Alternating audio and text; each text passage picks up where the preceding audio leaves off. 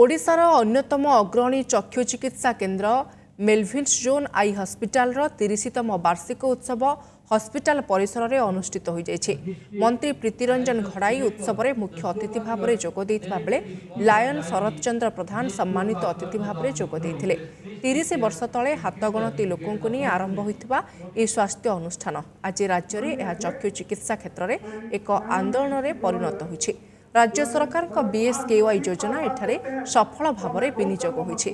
ଆଗାମୀ ଦିନରେ ଏହି ହସ୍ପିଟାଲ କମିଟି ଏହାର ପରିଧି ବୃଦ୍ଧି ପାଇଁ ଯାହା ନିଷ୍ପତ୍ତି ନେବେ ସରକାର ଏଥିପାଇଁ ତାକୁ ସହଯୋଗର ହାତ ବଢ଼ାଇ ଦେବେ ବୋଲି ମନ୍ତ୍ରୀ କହିଥିଲେ ପ୍ରତି ମାସରେ ଏହି ହସ୍ପିଟାଲରେ ତିନି ହଜାର ଛଅଶହ ରୋଗୀଙ୍କ ଚିକିତ୍ସା କରାଯାଉଛି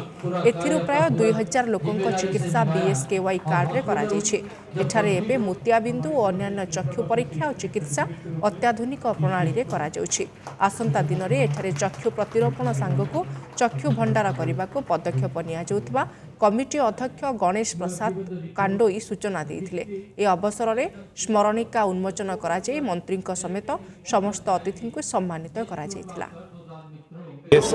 जो योजना नहीं मानवर मुख्यमंत्री नवीन पट्टनायक सारा राज्यर जनसाधारण किभଳି ଭାବରେ ଯତ୍ନବାନ ଅଛନ୍ତି ସମସ୍ତଙ୍କର ସ୍ୱାସ୍ଥ୍ୟକୁ ନେଇ ସୁରକ୍ଷିତ ରହିବେ ଶାନ୍ତିରେ ରହିବେ ଉନ୍ନତି କରିବେ ଏ ଦେଶର ଉନ୍ନତି ହେବ से दिगरे जी जत्नवान रही आज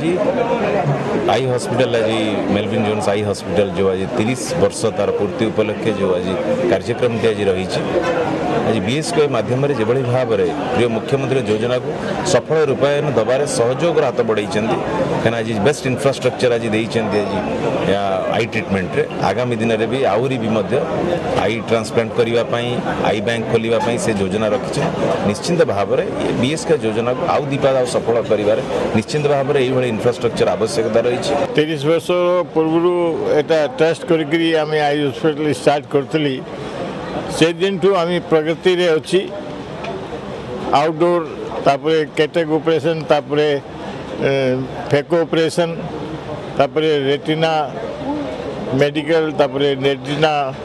सर्जिकल सबू सेक्टर में आमें अचिवमेंट पाई और फ्यूचर भी आम प्रोग्राम अच्छी आम आई कैंप करने को आई बैंक करने को एंड आई ट्रांसप्लांटेशन भी करने को जाऊँ और हमको पूरा आशा होची हम शीघ्र ही से अचीवमेंट भी करें